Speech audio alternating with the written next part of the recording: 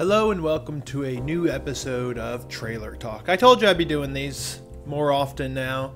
Um, thanks for all the lovely comments on all our trailers from last week.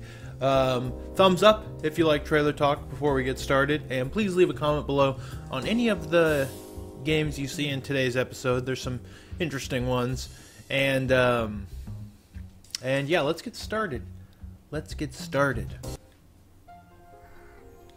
Alright, this first trailer is a trailer that, for a game that I, I often featured in Trailer Talk over the years, I feel like.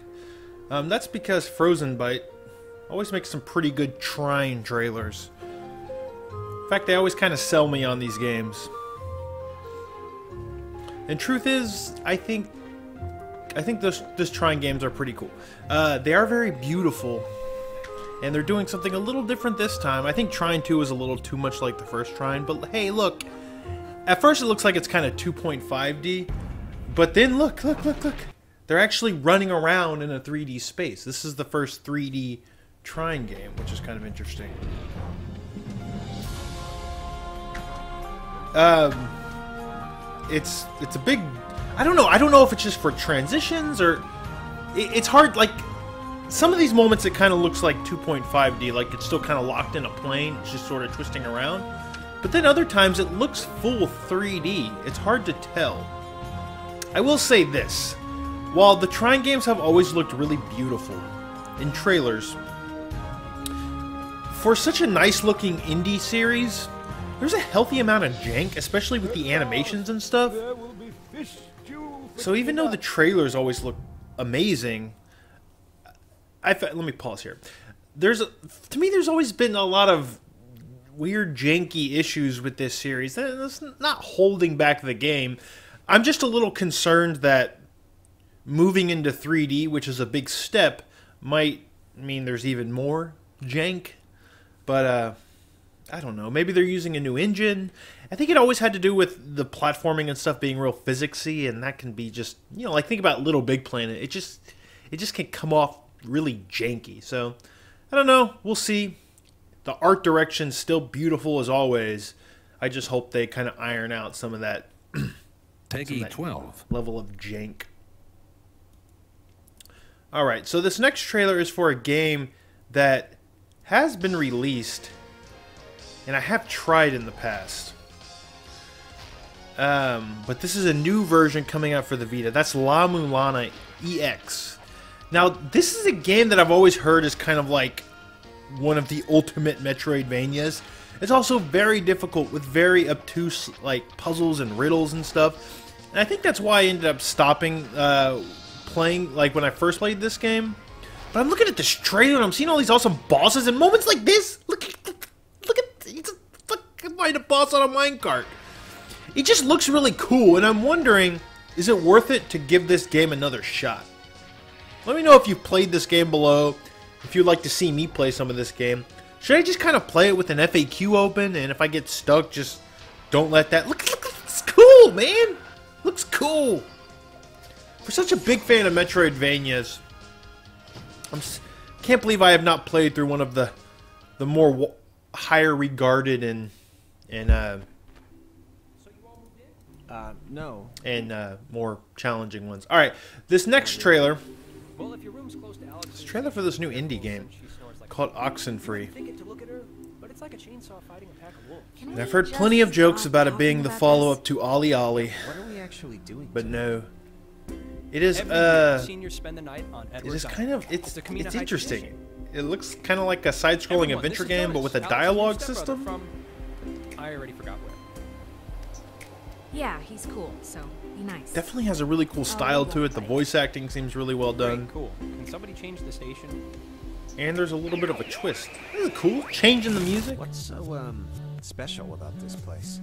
The island was a military fort that... Um, it's a tourist trap for morons who want to buy Christmas ornaments of World War II crap. Now, it's hard to tell if the if the dialogue choices are just actually different people saying different things. No, I guess it's all from the same Let's explore. Person. But it looks like different people say different things at different times. So it's weird how much agency you have in the story, maybe. Or maybe... See, wait, wait, hold on. Pretty cool. Maybe the dialogue is all from the same girl. Why would that? The hell? So the twist is that things seem kind of creepy and weird. Which is where it can get kind of exciting.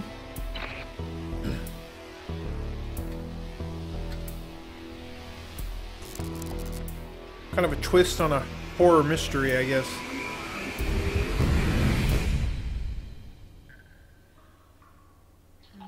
Does it hurt? Looks cool. Looks good.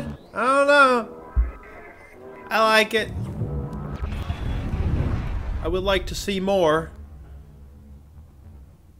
Though I am a known fan of games like Gone Home and The Walking Dead, so I don't need a lot of gameplay in my games, right? Alright, this next trailer is for a game that I think looks pretty cool. I will say that at a first glance, that looks a lot like the dude from Hyper Light Drifter, but hey, who am I to judge? First glance, this kind of looks like uh, like Castlevania, a little bit of an old school Castlevania. I like the way the sprites look kind of messy. I don't know how you describe that, but I like the the way the sprites look. Yeah, cool, fucking slashing and blocking. Uh, it, it looks nice. But there's a twist in this one too. It's like Castlevania meets Shadow of the Colossus. That's right, you're like climbing Colossi.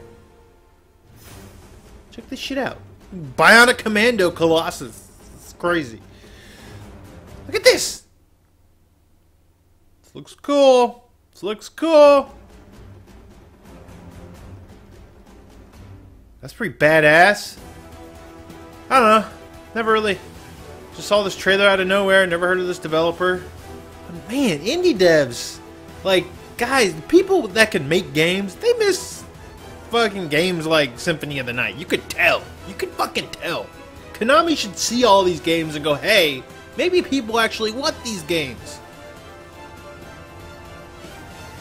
Cause god damn it, this shit looks cool. Death's Gambit. I don't know. I'm curious to see more. Just looks pretty sweet.